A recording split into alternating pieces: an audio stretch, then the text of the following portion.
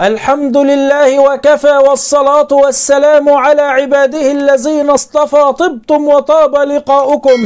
وتبوأتم من جنة الله منزلا بإذن الله تبارك وتعالى. هذا اللقاء عن تفسير رؤية الولادة القيصرية في المنام للإمام العلامة ابن سيرين طيب الله ثراه. ما تنسوناش بلايك والاشتراك في القناة وتفعيل زر الجرس. وجزاكم الله عز وجل عنا كل خير. الرحيم. العملية القيصرية في المنام. إذا رأى الرجل المتزوج زوجته تلد قيصريا في المنام قد يدل على الفرج عقب الضيق. في حال رأت المرأة المتزوجة ذلك قد يدل على تحقيق الأهداف عقب الشفاء من العملية. كذلك قد يدل للمرأة الحامل على حالة من الخوف والقلق. وتعايش المرأة من لحظة الولادة كما تدل الولادة القيصرية في المنام على تسديد الديون. تفسير حلم أنا بعمل حقن مجهري ونجح في المنام. لم ترد تفسيرات واضحة من العلماء حول عمل الحقن المجهري في المنام.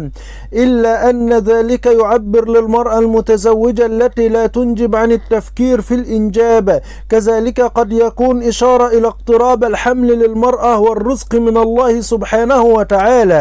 عندما ترى المرأة الحامل ذلك قد يدل على الولادة السهلة للمرأة. تفسير حلم عملية الحقن المجهري في المنام. إذا رأت المرأة المتزوجة أنها تجري عملية حقن مجهري في المنام قد يدل ذلك على الأخبار السرة والحمل القريب للمرأة بإذن الله. كذلك في حال رأت المرأة المطلقة إجراء عملية الحقن المجهري في المنام قد يدل لها على بعض التغيرات الإيجابية في الفترة المقبلة.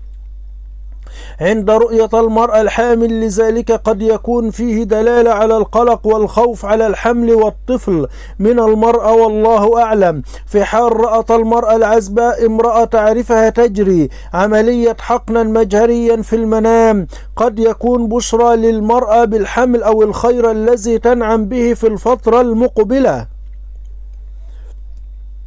تفسير حلم تركيب المحلول في المنام. أشار العلامة ابن سيرين إلى أن تركيب المحلول في المنام قد يدل على زوال المشاكل. عندما ترى الفتاة العزباء تركيب المحلول في المنام يدل على الأمور الطبية والخير وتفريج وزوال الهموم التي تمر به الفتاة. فقد يدل لها على التراقي لمكان أفضل في العمل أو الدراسة في الفترة المقبلة كما قد يدل للمرأة المتزوجة على التغيير الإيجابي الذي يحدث لها. لا تنسوا ذكر الله والصلاة والسلام على رسول الله صلى الله عليه وسلم والسلام عليكم ورحمة الله وبركاته.